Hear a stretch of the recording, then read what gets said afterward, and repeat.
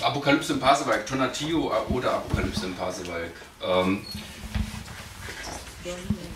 ist ein Roman, das spielt im, zwei, äh, im Jahr 2023, ist also ein Science Fiction ohne Science. Ähm, der Hauptprotagonist des Romans ist Konrad Fall. Ich will das kurz erzählen, weil das Problem ist bei einem Roman, jetzt hier sieben Minuten rauszunehmen, äh, ohne so ein bisschen Kontext, äh, ist ein bisschen schwierig. Ähm, der Hauptprotagonist ist Konrad Falk, der ist ein ehemaliger Star-Moderator äh, im Sportbereich, im Fernsehen, ähm, der durch seinen Alkoholkonsum so an die Grenzen seiner Karriere stößt und einen rapiden Absturz erlebt ähm, und nur durch das Wohlwollen seiner Ex-Frau äh, von dem totalen Ruin gerettet wird. Er arbeitet in einer Agentur, die Content herstellt.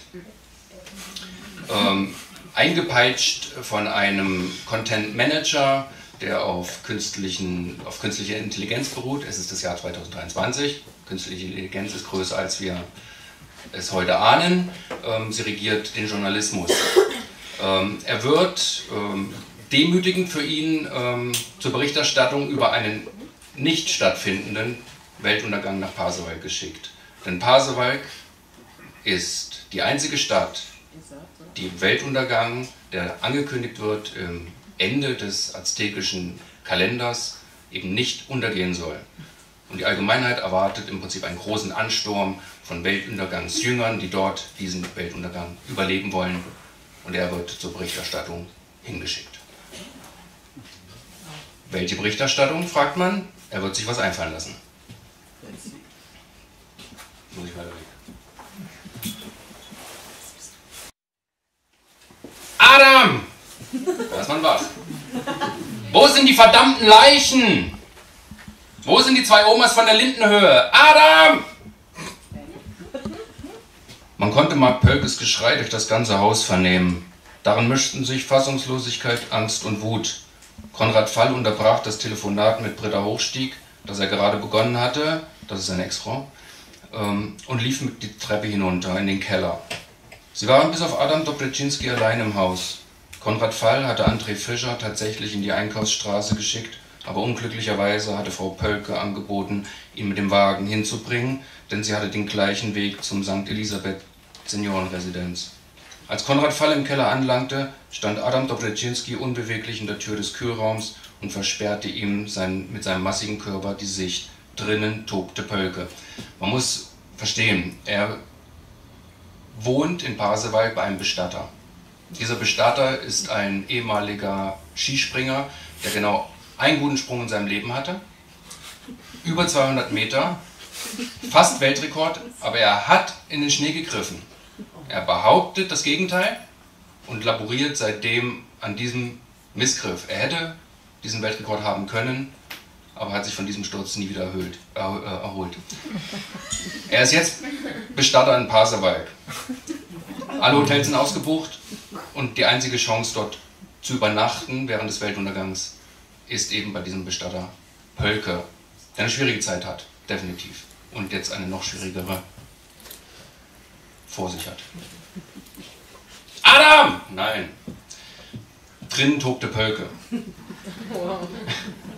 Ich wusste, dass das passieren würde. Ich wusste es. Erst die zerstochenen Reifen, dann die nächtlichen Fehlalarme und jetzt klauen sie mir die Leichen aus der Kühlung.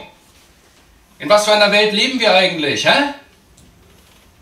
Konrad Fall schob den schwerfälligen Adam Dobryczynski zur Seite und betrat den Kühlraum. Mark Pölke stand vor den geöffneten Leichenmulden, in denen am Tag zuvor noch zwei Tote gelegen hatten.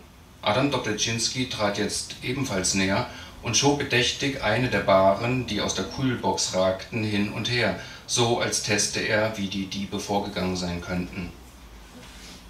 Wir haben die Verbrecher das Fleisch zerlassen. Na, durch das Kellerfenster im Heimkino, du Hirni. Hirni? Das heißt bester Mitarbeiter. Durch die kleine Luke das Fleisch geschwenkt. Ja, Mensch, im Totenhemd, halbnackte alte Weiber durch das Kellerfenster gequetscht. Wenn das rauskommt, scheiße. Die Fleisch gequetscht. Geschoben durch das Fenster da, macht die Augen auf. Kühlkammer? Ja, Herr. Die Kühlkammern reden 2023. Also nochmal. Kühlkammer! Ja, Herr. Wo sind die scheiß Leichen hin? Ich habe keine Information zu diesem Sachverhalt. Fragen, wann Ofen geöffnet und Fleisch entnommen. Kühlkammer? Ja, Herr. Wann war die letzte Öffnung der Kühleinheit? 5 Uhr und 14 Minuten. Und dann, wer hat die zwei Omas rausgezerrt? Ich habe keine Informationen. Abschalten, Hals, Maul, schalte ich ab. Ja, Herr. Konrad Fall bekam bei der Vorstellung an das Zerren runzliger toter Körper über den weißen Fliesenboden ein flaues Gefühl im Magen und schlug vor, die Polizei zu benachrichtigen. Aber das lehnte Mark Pölke mit einer von Panik in den Augen begleiteten Geste ab. Dann könne er gleich dicht machen, war sein durchaus nachvollziehbarer Beweggrund. Plötzlich drehte er sich um und stürmte mit den, an den beiden vorbei die Treppe hinauf. Seine Bürotür knallte. Adam Dobreczynski zuckte mit den Schultern. Hier ist harter Wettbewerb mit die Fleisch. Kruste weich, aber drunter hart, sehr hart. Der Pole schob, während er von explodierenden Herzschrittmachern bei der Einreicherung erzählte, die Metallbaren wieder zurück und schloss die Kühlfächer. Vor dem Hinausgehen betätigte er ein paar Schalter an der Kühlanlage und löschte das Licht. Mit Hand. Ich spreche nicht mit Ofen oder Licht. Dann begutachteten beide noch einmal das Kellerfenster im Heimkino. Es befand sich auf Straßenhöhe und war wirklich eng. Wenn, nicht, wenn es nicht wirklich zwei kleine Leichen gewesen waren, mussten die Täter rabiat vorgegangen sein. Aus dem Heimkino selbst schien nichts entwendet worden zu sein. Sie müssen das Fleisch wie Roulade gerollt, damit durch die Luke passt. Konrad Pfeil mochte sich das nicht vorstellen. Aber, aber Adam Dobryczynski nutzte konsequent das Wort Fleisch für Leiche und verursachte ihm ein unwohles Gefühl. Er überlegte, dem Polen die richtige Vokabel zu nennen, nur damit dieser aufhörte, ständig von Fleisch zu sprechen. In Konrad Pfeils Fantasie löste das die Vorstellung von menschlichem Schmorbraten aus. Aber dann dachte er, dass Pölke diese Richtigstellung sicher schon längst vorgenommen hätte, wenn es nicht irgendeinen Grund gab, es nicht zu tun. Also unterließ er es. Aber er musste raus aus dem Keller, so schnell es ging.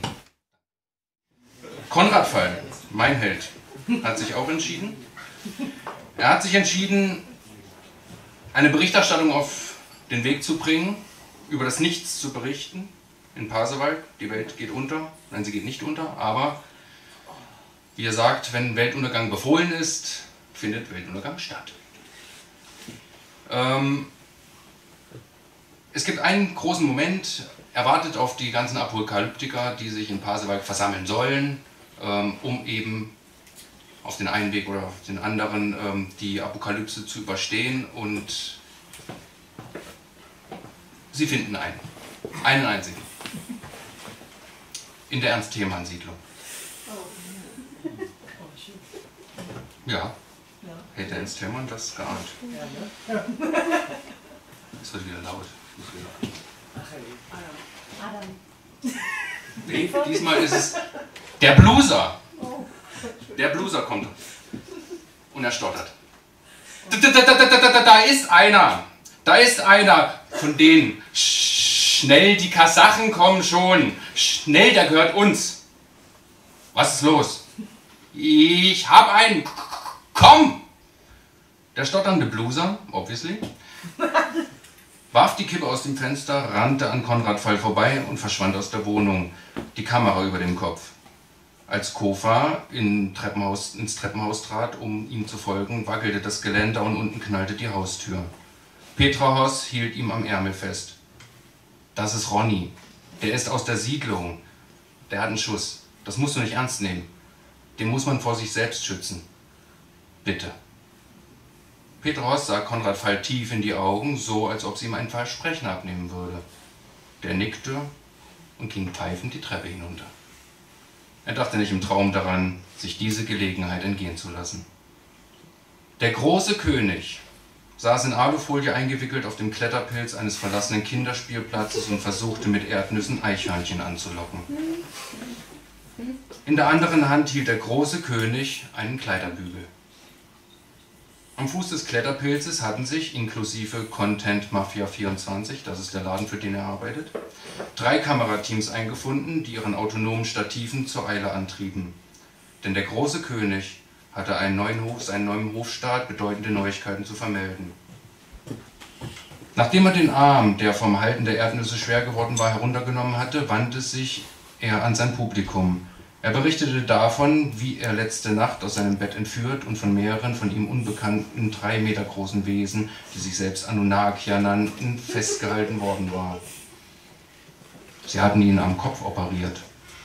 Und er könne, seitdem er heute Morgen das Bett verlassen hätte, mit den Tieren sprechen, er zeigte tatsächlich eine runde, glattrasierte Stelle am Hinterkopf, auf die notdürftig ein Pflaster geklebt war. Der Bluse erklomm mutig drei Sprochen des Kletterpilzes, um die vermeintliche Operationswunde von nahem zu filmen. Der große König hielt sie ihm auch bereitwillig hin und fuhr dann in seiner theatralischen Rede fort. Die Anunnakier hätten ihm die Herrschaft über die Welt übertragen, deswegen sei sein Titel großer König er habe das nicht gewollt, aber so sei es nun einmal, und für 20 Goldmark würde er dem erstaunten Journalisten ausführlich von der verbotenen, verborgenen Lichterstadt unter der Pasewalker St. Marienkirche erzählen und für weitere 20 Mark, wie man hineinkäme. Mark, 2023. Der Euro existiert nicht mehr, ihr lacht. Aber es wird bitter werden. Die Goldmark ist die Währung. Nicht wahr? Das kann man diskutieren. Also ich bin der Meinung, das könnte durchaus ein realistisches Zukunftsszenario sein.